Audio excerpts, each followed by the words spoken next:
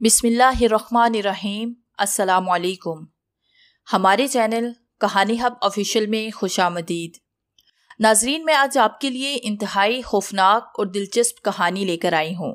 لیکن کہانی شروع کرنے سے پہلے آپ سے گزارش ہے کہ اگر آپ نے ہمارا چینل سبسکرائب نہیں کیا، تو آپ ہمارے اس چینل کو سبسکرائب کر لیجیے اور بیل آئکن کو بھی پریس کر لیں تاکہ ہر نئی آنے والی ویڈیو بآسانی آپ تک پہنچ سکے۔ ریحانہ مجھ سے ناراض تھی اور میں بہت پریشان تھا۔ میں سب کچھ برداشت کر سکتا تھا، مگر ریحانہ کی ناراضگی مجھ سے برداشت نہیں ہوتی تھی۔ ریحانہ سے میری ملاقات اس وقت ہوئی تھی جب میں میٹرک کی ایگزامز دے کر گاؤں گیا تھا۔ راستے میں ریحانہ کنویں پر پانی بھر رہی تھی اور مجھے وہ پہلی ہی نظر میں بہت اچھی لگی تھی۔ اگلے دن ریحانہ کو اپنے گھر دیکھ کر میں حیران رہ گیا تھا۔ بعد میں دادی سے معلوم کرنے پر پتا چلا کہ وہ میری کہ وہ میری دور کی کزن ہے۔ یعنی میری دادی کے بھانجے کی بیٹی ہے۔ یہ جان کر مجھے بے حد خوشی ہوئی کیونکہ ہمارے خاندان کی برسوں کی روایت ہے کہ شادی برادری سے باہر کسی صورت نہیں ہو سکتی۔ پھر میں نے اپنی امی سے اپنی خواہش کا اظہار کر دیا۔ امی نے بھی ظالم سماج کا کردار ادا کرنے کی بجائے ایک اچھی ماں ہونے کا ثبوت دیا۔ اور میری اور ریحانہ کی منگنی بڑے آرام و سکون سے ہو گئی۔ اور یہ طے پایا کہ جب مجھے جاب مل جائے گی تو شادی ہو جائے گی۔ پھر چار سال گزر گئے۔ میں نے بی اے کا امتحان دیا اور گاؤں آ گیا۔ چار سالوں میں ریحانہ سے میرا رابطہ مستقل رہا اور مجھے یہ جان کر شدید حیرت ہوئی کہ ریحانہ مہینے میں ایک مرتبہ چاندنی رات میں جنگل میں جاتی ہے۔ میں نے جب اس کی وجہ ریحانہ سے پوچھی تو وہ بولی جمیل، جنگل میں چاندنی رات میں مجھے بہت مزہ آتا ہے۔ وہاں شبنم سے بیگی ہوئی نرم نرم گھاس پر ننگے پیر چلتے ہوئے مجھے بہت لطف ہوتا ہے۔ ریحانہ کی باتیں سن کر میں حیرت زدہ ہو گیا۔ میں نے ریحانہ سے کہا، اگر کوئی جنگلی جانور یا درندہ تمہاری اس نرم نرم گاس پر آ گیا، تو میرا کیا ہوگا؟ میری بات سن کر ریحانہ بولی، کچھ بھی نہیں ہوگا، ہمیشہ اچھا سوچنا چاہیے۔ میں غصے میں بھول گیا تھا کہ ریحانہ کو لفظ ڈیٹ سے کتنی نفرت ہے۔ میں نے کہہ دیا، ریحانہ، تم بہت ڈیٹ ہو۔ اور یہ کہتے ہی وہ ریحانہ مجھ سے ناراض ہو گئی۔ دو دن گزر گئے تھے اور ریحانہ راضی نہیں ہوئی تھی۔ میں بہت ٹینشن میں تھا کہ ریحانہ کو کیسے راضی کروں۔ میں سوچ ہی رہا تھا کہ میرا دوست فواد آ گیا۔ کیا ہوا جمیل؟ تم کیوں اتنے گمسم ہو؟ فواد نے مجھ سے پوچھا۔ میں بولا، یا ریحانہ مجھ سے ناراض ہے، میں کیسے اسے مناؤں؟ فواد کچھ دیر خاموش بیٹھا رہا اور کچھ سوچتا رہا، پھر ایک دم بولا، میرے پاس ایک آئیڈیا ہے۔ کیسا آئیڈیا میں نے جلدی سے پوچھا۔ تم نے مجھے بتایا تھا کہ ریحانہ ہر چاند کی چودویں رات جنگل میں گزارتی ہے۔ تم بھی کل جنگل میں جا کر اس کو سرپرائز دینا۔ وہ ایک دم مان جائے گی۔ ہاں تم ٹھیک کہہ رہے ہو۔ یہ ریحانہ کو منانے کا اچھا آئیڈیا ہے۔ میں خوش ہوتے ہوئے بولا تو ٹھیک ہے۔ کل وہ جنگل میں جائے گی، لیکن اس سے پہلے تم جنگل میں چلے جانا۔ فواد نے کہا، میں بولا، یار میں اکیلا جنگل میں نہیں جاؤں گا، تم بھی میرے ساتھ چلو گے۔ فواد نے پہلے تو پسو پیش کی بات اپنا سر اس بات میں ہلایا۔ میں کیسے جنگل میں آیا تھا مجھے نہیں معلوم، لیکن شاید میں راستہ بھول گیا تھا۔ اب اس گندے جنگل میں شاید میں راستہ تلاش کر رہا تھا، مجھے کچھ معلوم نہیں تھا۔ میں ایک عجیب گوشے میں آ گیا تھا۔ یہاں لمبی لمبی گھاس اگی ہوئی تھی۔ ایک طرف ایک لمبا چوڑا گھڑا تھا، جبکہ اس گھڑے کے قریب ایک خوفناک قسم کا درخت تھا۔ وہ درخت پتو سے بے نیاز تھا، لیکن اس کی شاہوں کے سروں پر نئی کومپلے پھوٹ رہی تھی اور ان نئی کومپلوں سے سرخ سرخ قطرے زمین پر گر رہے تھے۔ میں تجسس کے مارے اس رخت تک آیا اور یہ دیکھ کر میری خوف سے جان ہی نکل گئی کہ وہ قطرے خون کے قطرے ہیں۔ میں نے درخت کے نیچے دیکھا تو زمین پر مجھے صاف نظر آ رہا تھا۔ وہاں ایک تابوت رکھا ہوا تھا۔ فیروزی رنگ کا وہ تابوت مجھے تو بڑا ہی عجیب سا لگا۔ لیکن اچانک کوئی سایہ سا اڑتا ہوا آیا کہیں سے اور اس نے مجھے ایسے اٹھا لیا جیسے میں کوئی موم کی گڑیا ہوں۔ وہ مجھے اٹھا کر لے جا رہا تھا کہ اچانک کہیں سے تیز طوفان آیا۔ میں ہٹ بڑا کر اٹھ بیٹھا۔ نہ جانے کیسا پر اسرار خواب تھا۔ میں خوف سے چور چور ہو چکا تھا۔ میں نے پاس پڑا ہوا پانی کا جگ دیکھا، مگر اس میں پانی ختم ہو گیا تھا۔ میں کچن میں گیا، وہاں جا کر پانی پیا اور واپس اپنے کمرے میں آ کر سو گیا۔ صبح میری آنکھ ذرا دیر سے کھلی، ناشتہ وغیرہ سے فارغ ہوا تو امی کی کال آ گئی۔ امی شہر میں تھی۔ میں اس مرتبہ گاؤں میں آیا تھا، امی سے بات ہوئی تو انہوں نے ابو سے بھی بات کروا دی۔ ابو کے پاس خود تو کال کرنے کا ٹائم نہیں ہوتا، کیونکہ وہ اپنے بزنس میں بہت بیزی ہوتے ہیں۔ روایتی باتوں کے بعد سلسلہ کٹ ہو گیا۔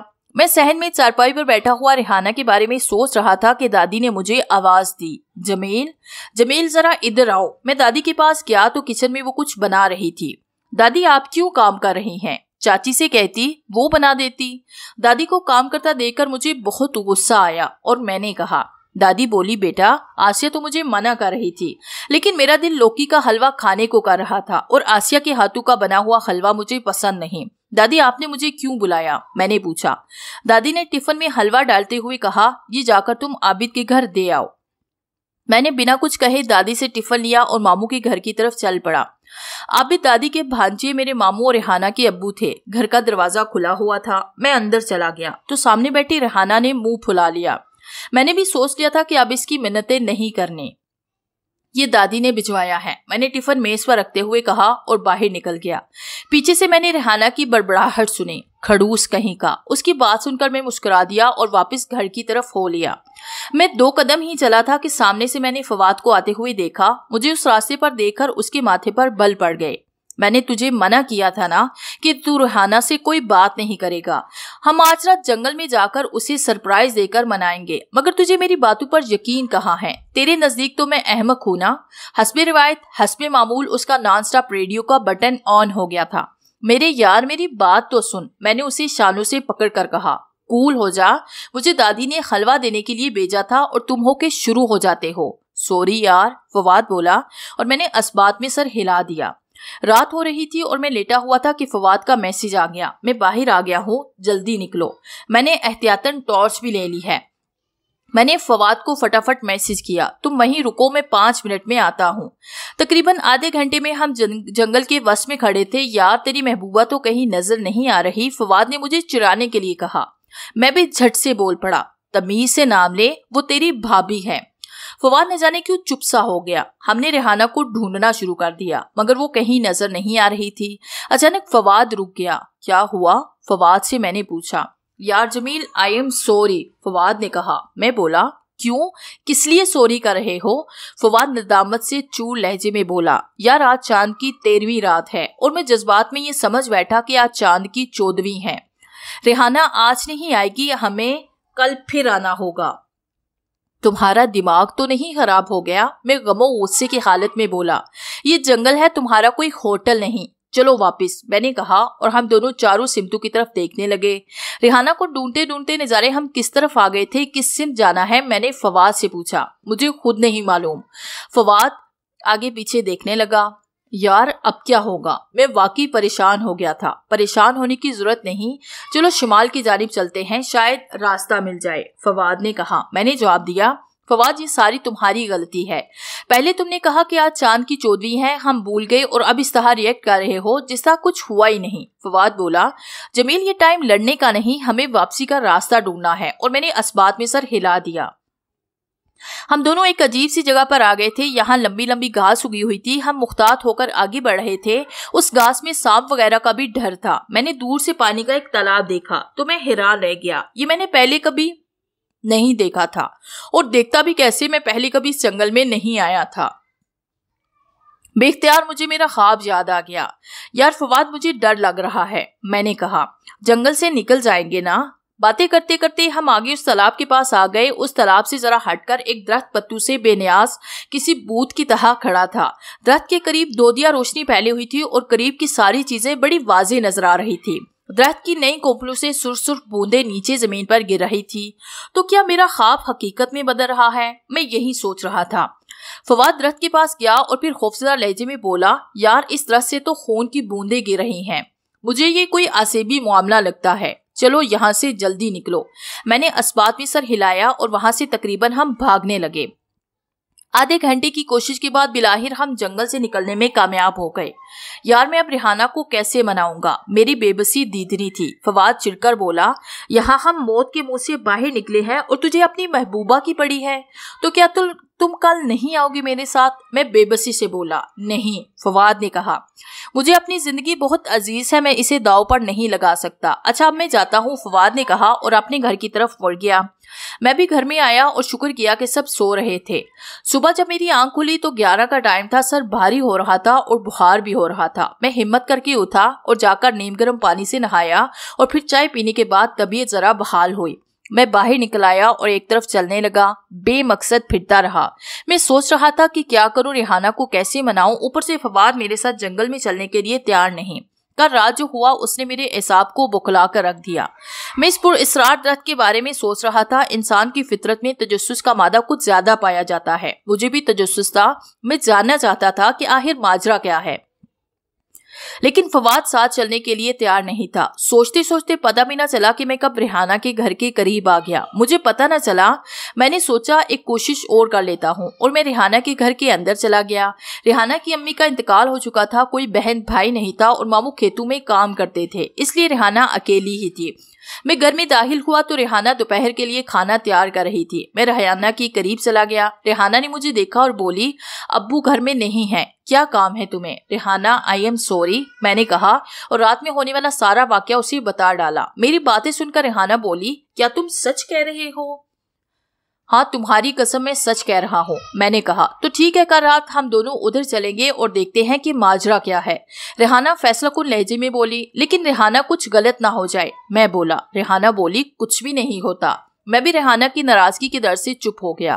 دوسرے روز کی شام بہت سہانی تھی، ہلکی ہلکی ہوا چل رہی تھی اور میں سہن میں بیٹھا چائے پی رہا تھا۔ تھوڑی دیر پہلے امی کا فون آیا تھا، وہ واپس آنے کا کہہ رہی تھی اور میں نے بھی کہہ دیا کہ میں ایک ہفتے میں آ جاؤں گا۔ تھوڑی دیر بعد فواد آ گیا۔ جمیل کیسے ہو؟ اس نے پوچھا۔ میں ٹھیک ہوں، تمہاری وہ دعائیں ہیں جو تم نے کبھی کی نہیں۔ اچھا یار، سوری، کل ہم جنگل میں جائیں گے اور پتہ لگائیں گے۔ کہ اس درخت کے کیا اسرار ہیں۔ میں نے فواد کو بتایا کہ ریحانہ مجھ سے راضی ہو گئی ہے اور وہ بھی اس درخت کے اسرار جاننا چاہتی ہے۔ تو ٹھیک ہے، کل رات ہم تینوں جنگل میں جائیں گے، فواد نے کہا۔ میں بولا، یار، پہلے میں ریحانہ سے پوچھ لو نا کہ وہ تمہیں ساتھ لے جانے پر آمادہ بھی ہے کہ نہیں۔ ٹھیک ہے، اسے کال کرو، بلکہ ابھی میسج کرو۔ میں نے ریحانہ کو میسج کیا اور اسے بتایا کہ فواد ہمارے ساتھ جانا چاہتا ہے۔ کچھ دیر میں اس کا جواب آ گیا۔ ایک سے بھلے دو دو سے بھلے تین۔ ریحانہ نے رات کو ہمارے گھر رکنے کا پلان بنایا ہوا تھا تاکہ تاکہ رات کو ہم آسانی سے اپنا مشن سر انجام دے سکیں۔ ریحانہ چاچی کے کمرے میں سوئی تھی بلکہ سونے کی اداکاری کر رہی تھی۔ رات نو بجے میں نے ریحانہ کو میسج کیا کہ چلو باہر آ جاؤ۔ تھوڑی دیر میں ریحانہ سہن میں آ گئی اور پھر ہم دونوں گھر سے باہر گلی میں نکل آئے۔ گلی سنسان و ویران تھی، فواد کدھر مر گیا ریحانہ نے پوچھا۔ فون کرتا ہوں اسے۔ میں نے کہا اور اپنا موبائل نکالا۔ لو بیٹری کی وجہ سے شٹ ڈاؤن ہو چکا تھا۔ اچانک سامنے سے فواد آتا ہوا دکھائی دیا۔ اس کے ہاتھ میں کچھ تھا جو جب وہ وقت قریب آیا تو اس کے ہاتھ میں ایک کدال تھا۔ ریحانہ بولی، یہ کیوں لے کر آئے ہو؟ فواد بولا، جنگل میں کسی بھی جنگلی جانور سے ٹکراؤ ہو سکتا ہے، اس لیے لے کر آیا ہوں۔ خیر، ہم تینوں جنگل کی طرف چل پڑے۔ ہم جنگل میں جب پہنچے تو ریحانہ بولی، کدھر ہے آپ کا وہ پر اسرار درخت؟ میں نے کہا، ریحانہ، جنگل بہت وسیع ہے، ہمیں درخت ڈھونڈنا پڑے گا۔ تو چلو، ڈھونڈتے ہیں، ریحانہ بولی۔ ریحانہ، تمہیں ڈر نہیں لگ رہا؟ فواد فوراً بولا۔ ریحانہ نے جواب دیا، ڈر کس بات کا؟ ریحانہ، تم واقعی بہت الگ ہو، ورنہ تمہاری جگہ کوئی اور لڑکی ہوتی تو وہ کپ کپاتی؟ میرے لہجے میں ریحانہ کے لیے ستائش تھی۔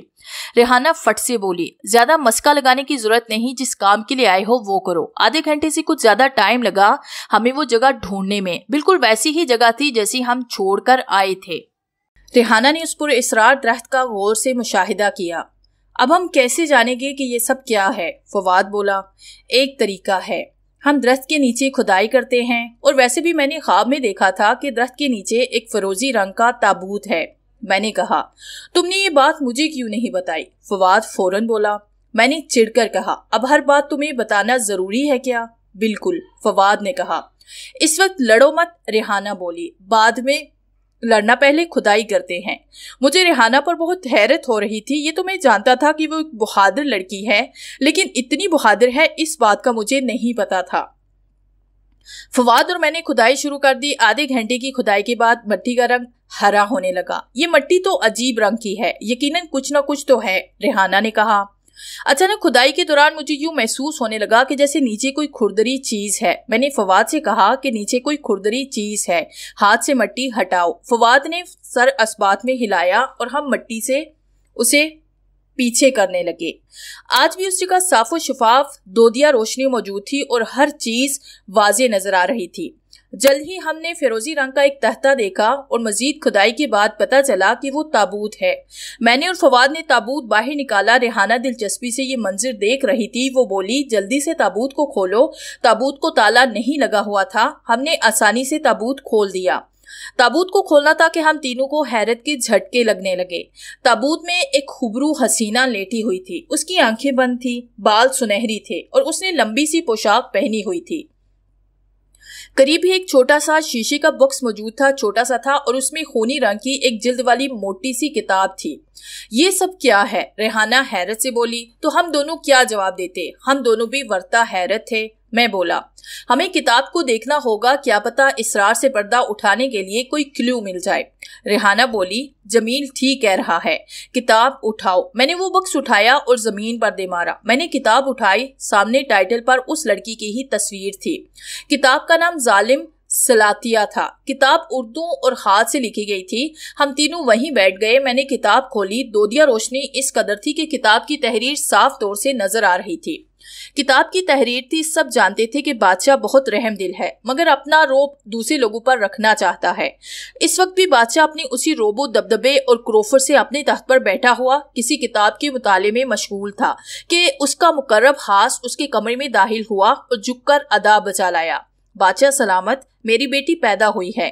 میں کچھ دن اپنے اہل خانہ کے ساتھ گزارنا چاہتا ہوں۔ بادشاہ نے اپنے مقرب خاص کی طرف دیکھا اور پھر یکدم مسکراتے ہوئے بولا، بہت مبارک ہو تمہیں۔ بیٹی کا نام کیا رکھا ہے مقرب بولا بادشاہ سلامت، اس کا نام اس کی والدہ نے سلاتیا رکھا ہے۔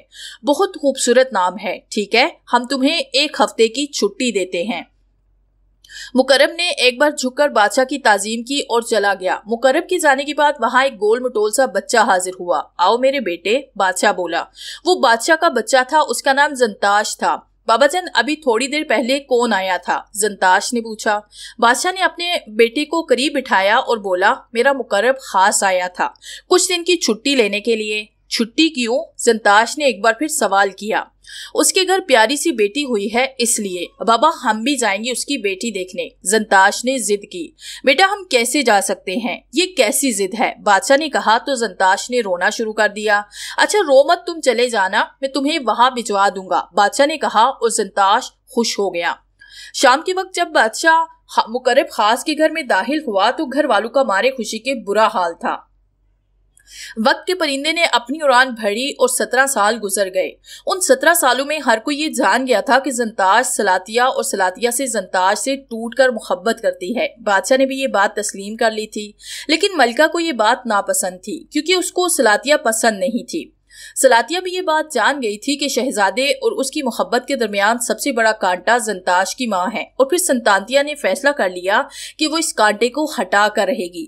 سلاتیہ جانتی تھی کہ ملکہ کے پاس طاقتوں کا انبار ہے۔ وہ ایک شکتی شالی جن زادی ہے اور پھر سلاتیہ نے اپنے استاد سے مشورہ کیا تو استاد نے بتایا کہ ایک عمل ہے جس کے ذریعے ملکہ کو زیر کیا جا سکتا ہے۔ مگر اس عمل میں اکیس انسانوں کا خون درکار ہوگا اور تم وہ عمل کر کے کامیاب ہو سکتی ہو یعنی کہ ملکہ موت سے خمکنار ہو جائے گی۔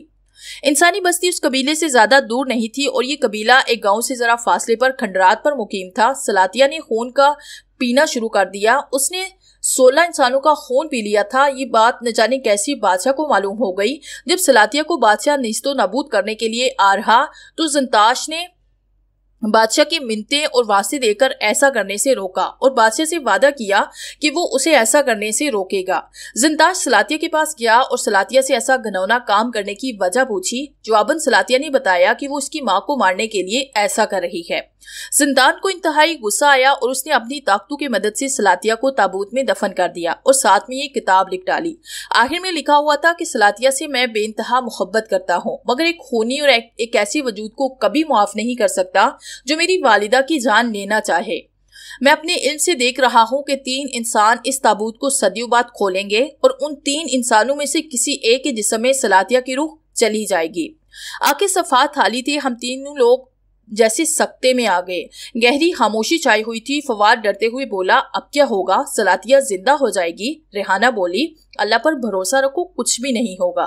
میں نے اپنی رسواس پر ٹائم دیکھا، دو بج رہے تھے۔ ہمیں واپس جانا ہوگا۔ جو کچھ ہوگا، دیکھا جائے گا۔ ریحانہ بولی۔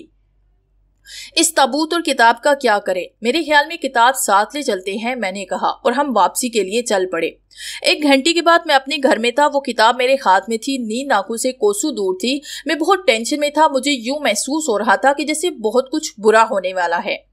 کمرے میں بہت گٹن ہو رہی تھی، اس لیے میں چھت پر آ گیا۔ ہلکی ہلکی ہوا چاہ رہی تھی۔ میں چھت پر راؤنڈ لگانے لگا، اچانک مجھے یوں لگا جیسے کوئی اور بھی یہاں موجود ہے۔ میں نے مڑ کر دیکھا تو میرے رونگٹے کھڑے ہو گئے۔ وہاں وہی لڑکی کھڑی تھی ہاں وہ سلاتیا ہی تھی۔ اس کے بال ہوا کے دوش پر لہرا رہے تھے۔ میں نے فٹافٹ وہاں سے دوڑ لگائی۔ پیچھے سے مجھے سلاتیا کے ہنسنے کی آوازیں آ رہی تھی میں اپنے کمرے میں آیا، منہ پر چادر لی اور آنکھیں موند لی۔ پھر نہ جانے کب مجھے نیند آ گئی۔ صبح دادی کے شور سے میری آنکھ کھلی تھی۔ دادی کہہ رہی تھی، ریحانہ بیمار ہو گئی ہے۔ میں نے پوچھا، کیا ہوا ریحانہ کو؟ تو دادی کا جواب سن کر مجھے زمین اور آسمان گھومتے ہوئے دکھائی دینے لگے۔ ریحانہ پر اسیب کا سایہ ہو گیا ہے۔ کیا؟ مجھے سمجھ نہیں آ رہی تھی کہ میں کس طرح ریئیکٹ کروں۔ مجھے کتاب والی بات یاد آ گئی کہ کسی ایک میں سلاتیہ کی روح داخل ہو جائے گی۔ میں بستر سے اٹھا اور باہر کی طرف دوڑ لگا دی۔ دادی یہی سمجھی تھی کہ میں ریحانہ کے گھر جا رہا ہوں، لیکن میں فواد کو سب کچھ بتانے کے لیے جا رہا تھا۔ رات کو میں نے سلاتیہ کو دیکھا تھا، نہ جانے کیا ہونے والا تھا۔ دماغ میں طرح طرح کے اندیشے آ رہے تھے۔ میں فواد کے گھر گیا اور اسے ریحانہ کے بارے میں بتایا۔ فواد بولا، یار جمیل، میں نے بھی کل سلاتیہ کو دیکھا تھا۔ وہ میری جانب دیکھ کر ہنس رہی تھی۔ میری بات اور ہے۔ تو ریحانہ کے گھر پر جا، اس کی حالت دیکھ، پھر سوچتے ہیں کہ کیا کرنا چاہیے۔ میں نے کہا فواد تو ٹھیک کہہ رہا ہے اچھا میں ماموں کے گھر جا رہا ہوں۔ میں ماموں کے گھر آیا، کمرے میں ماموں کرسی پر بیٹھے ہوئے تھے۔ ساتھ میں میری خالہ اور چچی بھی ادھر ہی تھی میں کمرے میں داخل ہوا تو کسی نے بھی کوئی خاص نوٹس نہ لیا۔ میں نے ماموں سے کہا، کسی اللہ والے کو دکھایا ہے۔ مسجد کے پیش امام صاحب کے پاس گیا تھا، لیکن انہوں نے صاف صاف کہہ دیا کہ یہ میرے بس کی بات نہیں۔ جمیل بیٹا، ریحانہ کی حالت کے پیش نظر میں بہت پریشان ہوں۔ ماموں کی آنکھوں میں آنسو آ گئے تھے۔ اچانک ریحانہ نے آنکھیں کھول دی، ریحانہ کی آنکھیں اس طرح سرخ ہو رہی تھی جیسے ان میں سے کسی نے خون انڈیل دیا ہو۔ ہم سب نے ریحانہ کی طرف دیکھا، ریحانہ نے چیخنا چلانا شروع کر دیا۔ اس کی چیہوں سے در و دیوار کانپنے لگے، وہ پھر ایک دم چپ ہو گئی اور اس نے ہنسنا شروع کر دیا۔ کچھ دیر ہنستی رہی، پھر اس نے رونا شروع کر دیا۔ مجھ سے یہ منظر دیکھا نہ گیا اور میں کمرے سے باہر نکل آیا۔ میرا رخ فواد کے گھر کی جانب تھا۔ فواد مجھے باہر ہی مل گیا۔ میں نے فواد کو ساری صورتحال بتائی۔ تو فواد نے کہا، جمیل، ہمیں شہر میں کسی عامل سے رجوع کرنا ہوگا۔ میں نے کہا، ٹھیک ہے فواد، چلتے ہیں۔ لیکن اس وقت شہر جانے والی کوئی گاڑی نہیں ملے گی۔ فواد نے کہا، کوئی بات نہیں، ہم بائک پر چلتے ہیں۔ ہم شہر پہنچ کر ایک بزرگ کے آستانے میں گئے۔ ہم انتظار گاہ میں بیٹھے ہوئے تھے، اپنے نمبر کا انتظار کر رہے تھے۔ عامل صاحب کا نام گلاب شاہ تھا۔ ڈیڑھ گھنٹے کے جانے انتظار کے بعد ہمارا نمبر آیا۔ ہم کمرے میں گئے۔ کمرے میں لوبان اور اگر بتیوں کی مسحور کن خوشبو پھیلی ہوئی تھی۔ فرش پر ایک کارپٹ پڑا ہوا تھا۔ عامل صاحب سفید لباس میں ملبوس تھے۔ آنکھوں سے چمک اور چہرے سے روحانیت ٹپکتی تھی۔ انہوں نے پوچھا بولو بیٹا، کیا مسئلہ ہے؟ میں نے انہیں بتانا شروع کیا، پھر آخر تک سب کچھ بتا دیا۔ وہ میری تمام باتیں نہایت ہی توجہ سے سنتے رہے۔ میری بات ختم ہوئی تو وہ آنکھیں بند کر کے مراقبے کی حالت میں بیٹھ گئے۔ پانچ منٹ بعد انہوں نے آنکھیں کھولی اور بولے، بیٹا، آپ کا مسئلہ بہت سنگین ہے۔ آپ لوگ کل اسی وقت آ جانا اور پھر ہم آپ کے ساتھ آپ کے گاؤں چلیں گے۔ فواد ڈرتے ہوئے بولا، شاہ صاحب، آپ کا ہدیہ کتنا ہے؟ عامر صاحب نے پہلے تو فواد کو غصے کے ساتھ دیکھا، پھر بولے، بس میرے لیے دعا کیا کرنا۔ ہم واپس گاؤں آ گئے۔ گاؤں میں کسی کو پتہ چل گیا کہ ریحانہ پر کسی آسیب کا سایہ ہے۔ ہر عورت، ہر بچہ بس یہی کہہ رہا تھا کہ ریحانہ آسیبی ہو گئی ہے۔ ٹینشن کی وجہ سے ماموں کا بی پی لو ہو گیا تھا اور وہ بستر سے لگ گئے تھے۔ جب میں رات میں سونے کے لیے بستر پر لیٹا تو میرا ضمیر مجھے ملامت کر رہا تھا، کیونکہ یہ سب میری وجہ سے ہو رہا تھا۔ نہ میں جنگل میں جاتا اور نہ یہ سب ہوتا، لیکن اس میں کہیں نہ کہیں غلطی ریحانہ کی بھی تھی۔ اس نے جنگل جانے کی بے حد ضد کی تھی۔ خیر، جو ہوا سو ہوا، اب آنے والے کل کے بارے میں سوچنا تھا۔ اگلے دن میں اور فواد عامر صاحب کے آستانے پر چلے گئے۔ اس مرتبہ ہماری باری کچھ ہی دیر میں آ گئی۔ ہم اندر گئے اور عامر صاحب کے پاس بیٹھ گئے۔ وہ بیلے کچھ وجوہات کی بنا پر میں آپ کے ساتھ نہیں جا سکتا، لیکن اس مسئلے کا حل میں نے ڈھونڈ لیا ہے۔ جی فرمائے کیا حل ہے؟ میں بے صبری سے بولا۔ عامر صاحب بولے، تمہیں سلاتیہ کے جسم اور اس کتاب کو جلا کر حاکستر کرنا ہوگا۔ اس کے علاوہ اور کوئی حل نہیں ہے۔ فواد نے پوچھا، نہیں، اس کے علاوہ کوئی حال نہیں۔ عامر صاحب بولے، چاندنی رات تھی، میں اور فواد جنگل میں جا رہے تھے۔ فواد کے ہاتھ میں ایک گیند تھا، اس گیند میں مٹی کا تیل تھا۔ ہم تقریباً ایک گھنٹے میں وہ جگہ تلاش کر چکے تھے۔ عامل صاحب نے ایک بوتل میں دم کیا ہوا پانی دیا تھا اور فرمایا تھا کہ تابوت کے پاس پہنچ کر اس پانی کو تابوت کے چاروں طرف حسار کی صورت میں چھڑک دینا اور تھوڑا پانی تم دونوں اپنے جسم پر بھی چھڑک لینا۔ درخت کے قریب پہنچ کر ہم نے دیکھا کہ سلاتیا اسی طرح تابوت میں پڑی ہوئی تھی، جس طرح ہم چھوڑ کر آئے تھے۔ پھر ہم نے عامل صاحب کے بتائے ہوئے طریقے پر عمل کیا۔ پھر میں نے سلاتیا کے لاش نما جسم پر مٹی کا تیل اور ساتھ میں کتاب رکھی اور آگ لگا دی۔ آگ نے جیسے ہی کتاب کو چھوا، اس منحوس رست کو بھی آگ لگ گئی۔ فواد اور میں نے وہاں سے دوڑ لگا دی۔ جلدی ہم گاؤں آ گئے۔ میں اپنے گھر گیا اور بستر پر لیٹ کر تمام واقعات پر غور کرنے لگا کہ اب نہ جانے کیا ہوگا۔ صبح میں جلدی اٹھا اور ریحانہ کے گھر گیا۔ ریحانہ ٹھیک ہو چکی تھی اور مامو جان بے انتہا خوش تھے۔ ریحانہ نے مجھ سے پوچھا، جمیل، مجھے کیا ہوا تھا؟ کمرے میں میرے اور ریحانہ کے سوا کوئی بھی نہیں تھا۔ اس لیے ریحانہ کو میں نے سب کچھ صاف صاف بتا دیا۔ سوری جمیل، میری وجہ سے یہ سب ہوا، ریحانہ نے کہا۔ سوری کی کوئی بات نہیں جانو، میں نے کہا اور ریحانہ کے چہرے پر جھکنے لگا۔ تو وہ مسکراتی ہوئی بولی، ہٹو پڑے اور کمرے سے بھاگ گئی۔ تو میں بے اختیار ہنسنے لگا۔ چند ماہ بعد ریحانہ کے ساتھ میری شادی ہو گئی اور ہم دونوں نے زندگی کے نئے سفر کا آغاز کر دیا۔